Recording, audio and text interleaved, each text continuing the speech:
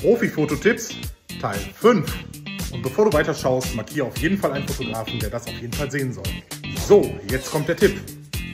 Wenn ihr professionelle Fotos machen wollt, nehmt vorher immer den Objektivdeckel ab. Für mehr Tipps folgt mir einfach.